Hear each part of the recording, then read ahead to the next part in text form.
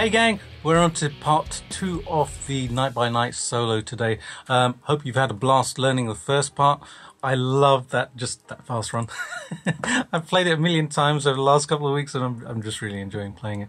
Uh, I, you, you know, I need to start recording again so that I can use it on a solo or something like that anyways. But um, yeah, warm those fingers up again because um, we're going to go into part two of the solo.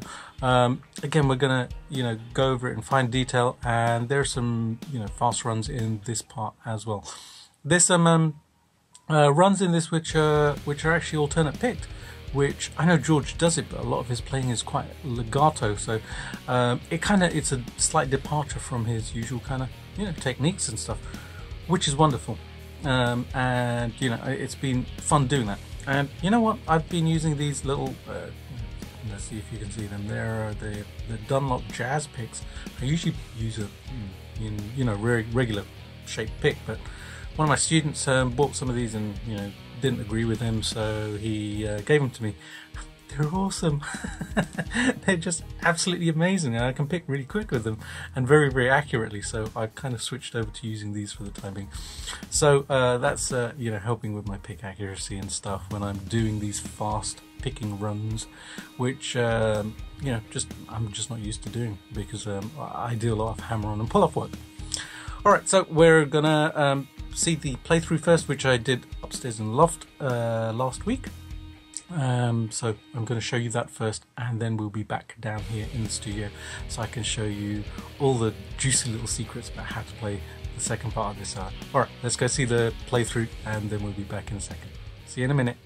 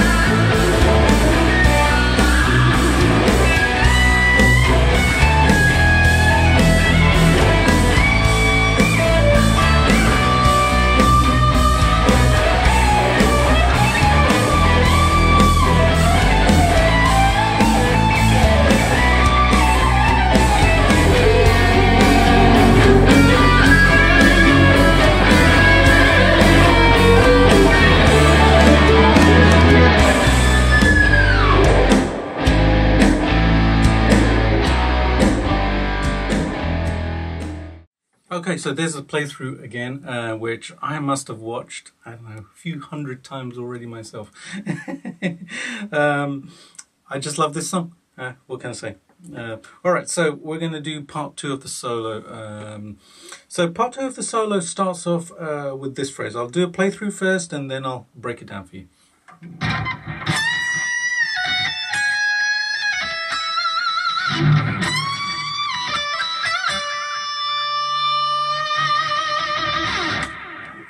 So that's going to be our first phrase. So what I'm doing is initially I'm, I'm beginning on this um, 17th fret of the high E string. I'm doing full step bend there. And then what I'm going to do is I'm going to come back to the 14th fret. So I use my pinky to do the um, 17th fret, but you can use your third finger if that's easier.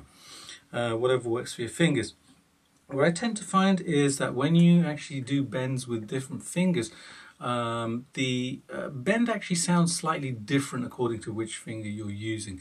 I remember seeing um, an interview with Slash where he was explaining the same thing. Um, he was saying sometimes he does the bend with his third finger, sometimes second, because it actually gives a slightly different kind of, uh, I guess the curve in the bend is slightly different. So, you know, try with your pinky you, you know you, um, you can build up the speed and you know it, the bend will sound a tiny bit different from if you use your third finger. So full step bend here 17th fret E. Then I'm going to come back to the 14 and I'm going to do the 14th fret of the E 17 and then the 16 on the E Now when I get to this 16, what I'm going to do is I'm going to just bend it up a very, very, very tiny bit. So it'll be like this. So it's like a quarter step bend. Now, um, basically the reason I do that is because when I was listening to the solo and learning it, I kind of noticed that it almost sounded like George was kind of contemplating doing a bend there or something. Um, you know, some of something like that, but kind of stopped in between and then did this little trilly thing afterwards. and I just thought it was really important um, in terms of you know getting the the whole kind of feel of the song, and if you want to get the solo completely accurate, then to to actually include that in there. So I'll do the 14, 17, 16, and I'm going to bend up a quarter step. Now from here, holding the bend, what I'm going to do is I'm actually going to do a hammer on pull off thing. So I'm going to hammer on, I'm going to pick the note at the 16 again, hammer on to 17, pull off to 16 and pull off to 14. Um, so slowly, uh, let me try and do it slowly here.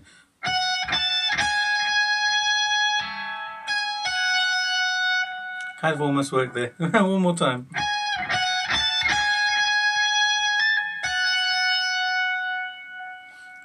And then from there, when I'm on the 14th fret of the E, I'm going to come up to the, the 17th fret of the B string, pick it twice and put a vibrato on that note.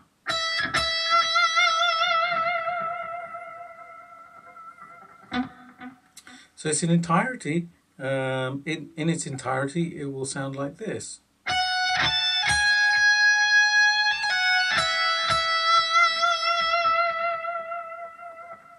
So some very, very subtle things happening there. Um, and this little bend on this 16, it actually gives us that, that slur, which I've spoken about in previous Lynch licks, where George holds the first note a little bit longer than the, the rest of the notes that he's hammering and uh, hammering onto and pulling off to. All right, so from there, we're going to come up to the 19th fret of the E string. I'm going to do a one and a half step bend on this note now. It's a nice big, big, big bend. and that's all it does. It's just a, literally, it's just a big bend. And it might actually be two steps. Let's see. Um, no, it's one and a half steps. It's definitely one and a half steps. So I'm basically kind of bending up to the same note as on the 22nd fret. Now when I do these really big bends, there's a couple things I do with my hand to make it easier to, to actually do the bend. Uh, first thing I do is my my um, my thumb is over the neck like this. Uh, all of my other fingers uh, that are free underneath the finger that I'm bending with, I'm bending with my pinky. So my second, third, and, um, sorry, my first, second, and third fingers are all supporting the bend. So they're all bending the string up with the pinky as well. And this this makes it much much easier rather than just trying to bend up with a single finger or even two fingers. The other little thing that I do is I tend to kind of um, dig my forearm into the forearm rest of the guitar. And this basically just stabilizes the guitar so I can hold it in place while I'm doing the bend. So, especially the big bend, it just makes it a little bit easier to control them. Okay, from there I'm going to come back to the B string. I'm going to play the 15, 17, then I'm going to do a full step bend on the 17. And at the top of the bend, I'm going to stop the note. So it will be 15, 17, bend on the, the 17, and then kill the note. From there, I'm going to come back to the 15th fret. Now I'm going to pick this note and I'm going to do a very slow bend up, um, but it's only going to be a half step bend. Now when I get up to that half step, I'm going to start doing vibrato on that note. So when I add that all together, we'll get this.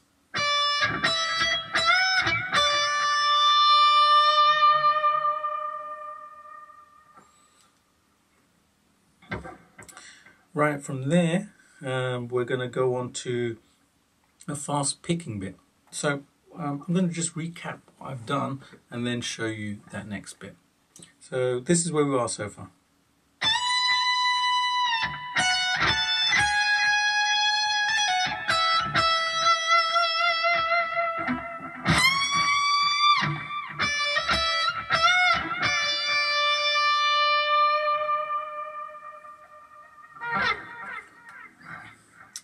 All right, now we're going to go on to this uh, nice little quick run um, which George does um, from the 16th fret of the B string. I'm going to do the 16, 17, 19 on the B. Then on the E string, I'm going to do 16 and 17. And then I'm going to come back on myself. So I'll be doing the 19, 17, 16 on the B string. And then I'm going to come up to the 19 on the G string as well. So slowly, um, it's going to be like this.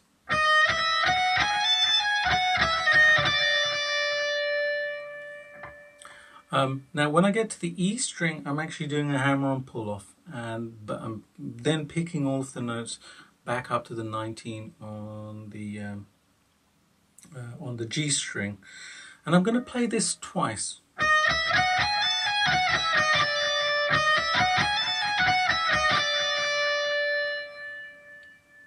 Now, um, this phrase is worth learning slowly so that your fingers know exactly what they're doing because it is a fast phrase in the solo. And getting the picking accuracy um, synchronized with your fret hand can be a little bit tricky. Um, so, you know, just work on it slowly and when it's, you know, when you're ready to up the speed, your hands will naturally kind of go faster, but with the accuracy as well. All right, so I'm going to do that twice.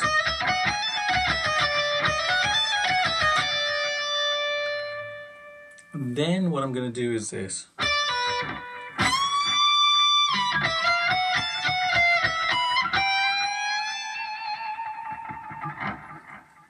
So what I did there was once I was back at this 19th fret of the G string, I'm going to pick at the 19 and pull off the 16. And then I'm going to come up to the 19 on the E string again and do that one and a half step bend again. I'm going to follow up with this phrase.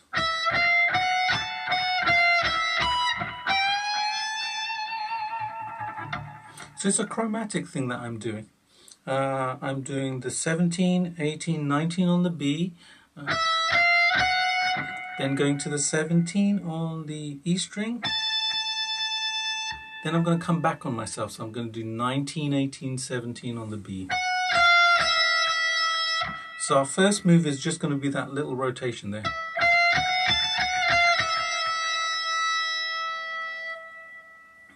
So once I'm back at this 17, I'm going to come to the 19 on the E string.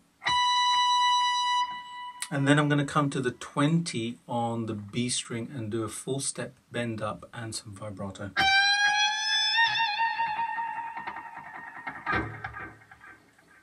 So you can treat this like two little separate phrases. First you have that little rotation. And then the last two notes. The 19 on the E, 20 on the B.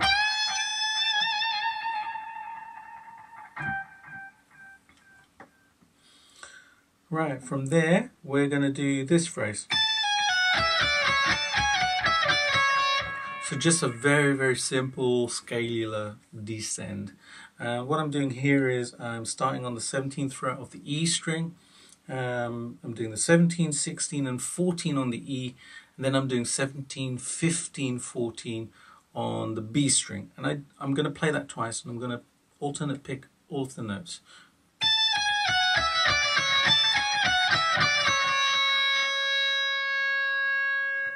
And this is going to take us into the final uh, fast phrase um, of the solo. So the fast phrase is going to go like this. I'm going to play it slowly.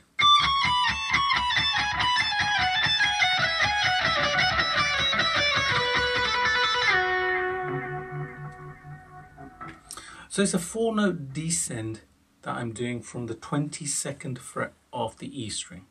So the first four notes are going to be the 22nd, 21st and the 19th fret of the uh, E string and then I'm going to slide down to the 17 on the E.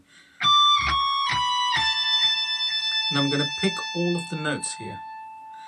Then the second phrase is going to be 19, sorry, the 21, 19, 17 um, and then the 16 on the E. The third phrase will be um, 19, 17, 16, 14 on the E.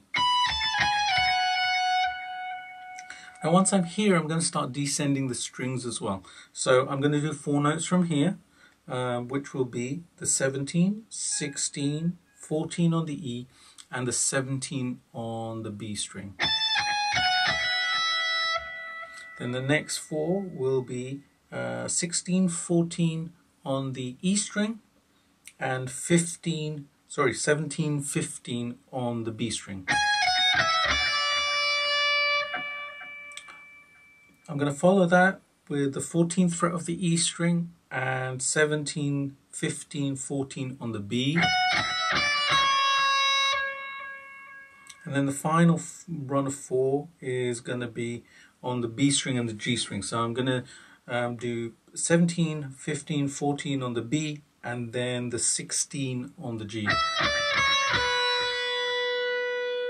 Now when I get here, I basically um, pull off to 14 and then do a couple more hammer-on pull-offs um, uh, between the 14 and the 16 on the um, on the G string. And then from here, I'm going to slide down to the um, the 11th fret of the uh, the G string. The reason I'm showing it like this is because when I watched um, the playthrough that I'd done back, that's what I was doing. That's what my fingers were doing. They were doing this descent.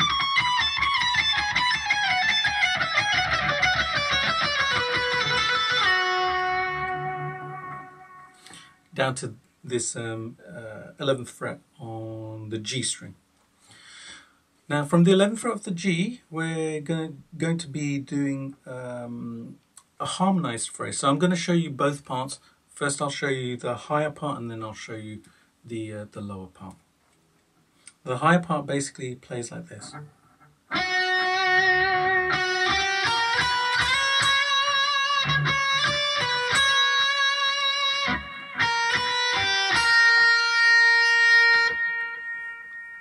A nice simple run there. It's not fast just lots and lots of uh, emphasis on the vibrato points here. So I'm going to start on the 11th fret of the G string, pick it and put lots of vibrato on it. Then I'm going to do 11, 12 on the um, on the G string and 11, 12, 14 on the B string. And I'm going to slide into this 14 rather than playing it with my other finger.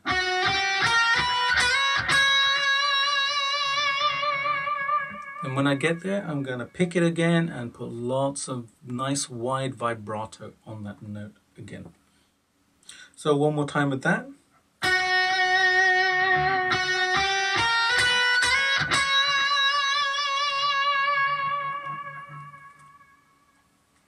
After that, I'm going to um, do the 14th fret of the G, sorry, the B, 15 on the B, um, the 16 on the, the G string and then back to the 14 on the B. Now on the video you'll actually see me playing it slightly different. I actually did this. So I did 14, 15 on the B string, 12 on the B, and then back to 14, and then I use the bar to uh, do the vibrato there. And it was just something that I did when I was playing, you know. Um, uh, it sounded fine. it's just a different way of playing the same phrase, I guess. Um, now the last part of the phrase is going to be on the uh, E string and the B string and I'm going to switch over to playing from the 6th fret of the E string. So I'm going to play the uh, 6 and 7 on the E string the 8 on the B string and then back to 6 on the E string. So it's basically, you know, the same technique we use here. It's essentially the same thing, just in a different position on the neck. And to end the solo, we have a tapping run, which goes like this.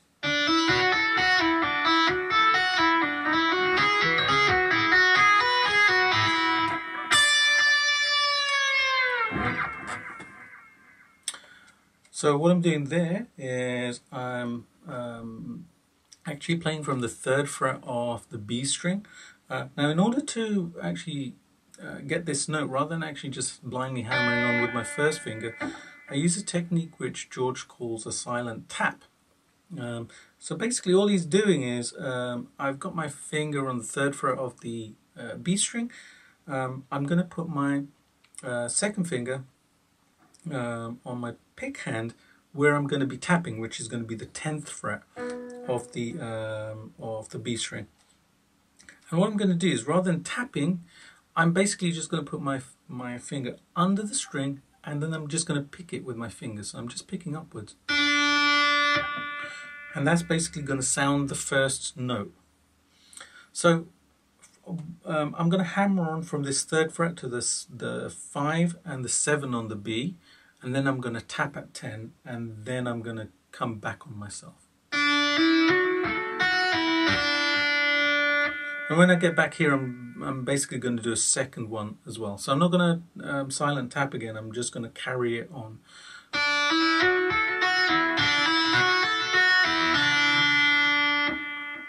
Now once I'm back at the 3 the second time, I'm going to slide over to 5, I'm going to do the same thing um, from the 5th fret. So this time I'll do the five, seven, nine on the B with my uh, fret hand and I'm going to be tapping at the 12.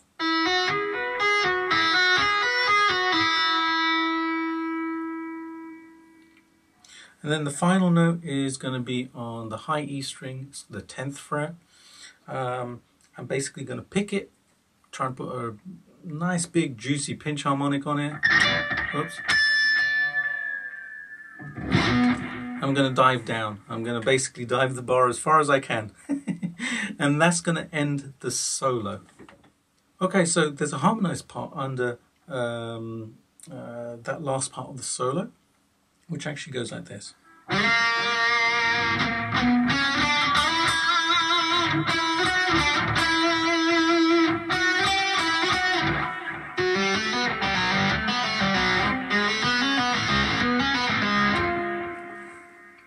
Obviously when you're playing all by yourself, you're not going to be able to do both parts simultaneously, but it's interesting to know how both of these parts uh, work and how they interact with each other. So this time I'm going to slide into the 8th fret of the D string, and I'm going to be playing across the D string and the G string only uh, for the first part. So what I'm going to do is I'm going to slide into this uh, 8th fret of the D and put lots of vibrato on it. Then I'm going to play the 8 9 on the D and then I'm going to come to the G string and play 6 7 I'm going to slide into the ninth fret of the uh, D and then I'm going to pick it again and put lots of vibrato on it.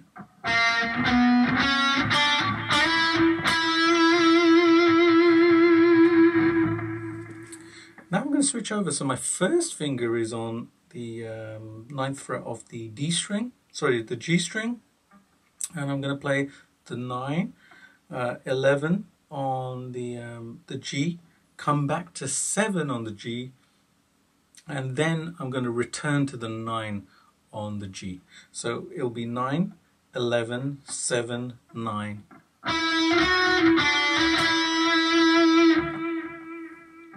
And then the final few notes, um, I'm, what I'm going to do is I'm going to come to the 11 on the, um, the G, G string here.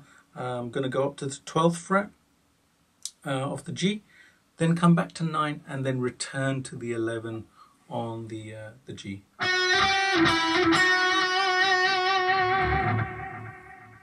that's going to take us into our tapping run, um, which again is going to be on the D string. And this time what I'm going to do is I'm going to start at the 4th fret of the D. So I'm going to do uh, a hammer on from 4th fret to the 5th and the 7th on the D. Again, I'm going to use my silent tap. Now I'm going to be doing the tap at the, the um, 9th fret of the, the D. So I'm going to tap, do the silent tap from there um, to the 4th fret, hammer on to 5 and 7. So again playing it twice. Then I'm going to slide my first finger up to the 6th fret of the D and then do the same basically the same fingering, same kind of intervals. So this time it'll be six, seven, nine on the uh, D string, hammering on with my with my um, fret hand, and then tapping at the 11 on the D. And that will be the end of that phrase. We're not going to do a dive uh, on any other notes there. So when I add that together, we'll get this.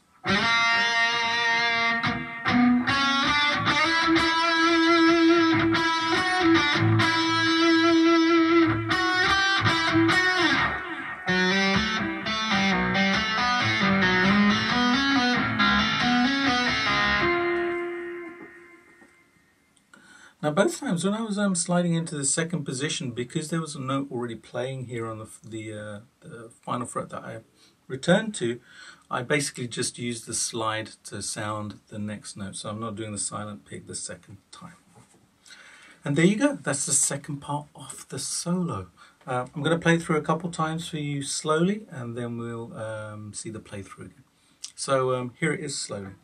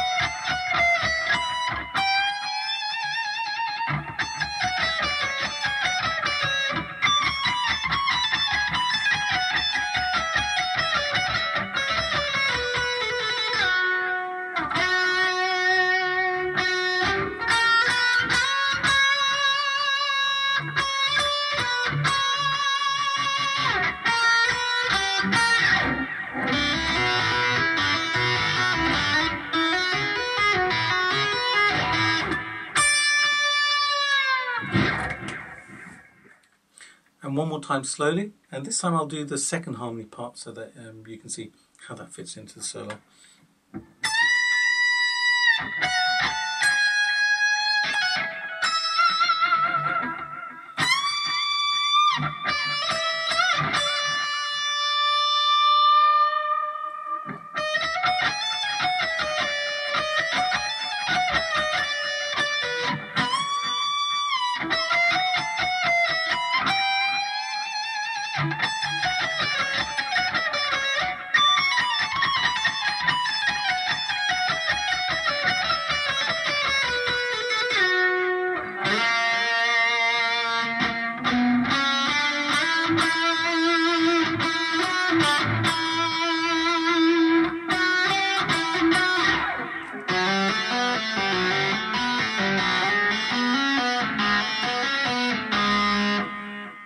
There you go, there's the whole of the solo for Night by Night. Um, be sure to check out part one if you haven't done so already um, and um, learn that as well. Alright, let's go and see the playthrough. Here we go.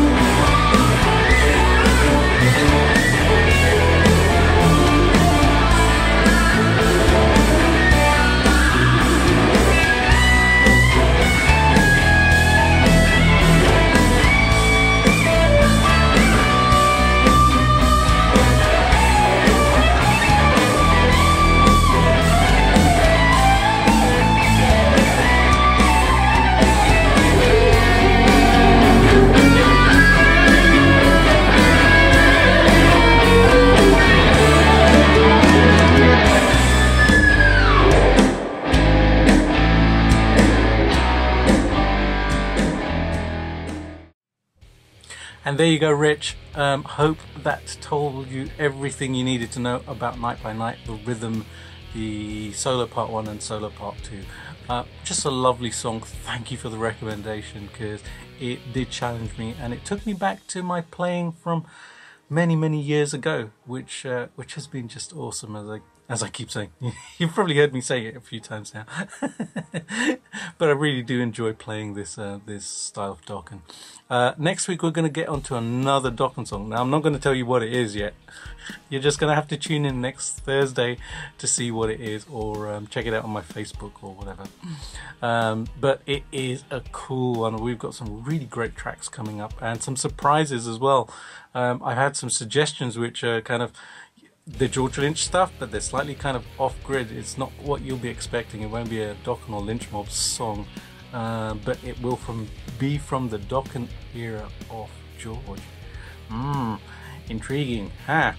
Yeah, you can ponder on that for the next couple of weeks, and um, hopefully, the person who made the suggestion won't give it away on Facebook or anything. um, so that'll be coming up in a few weeks' time.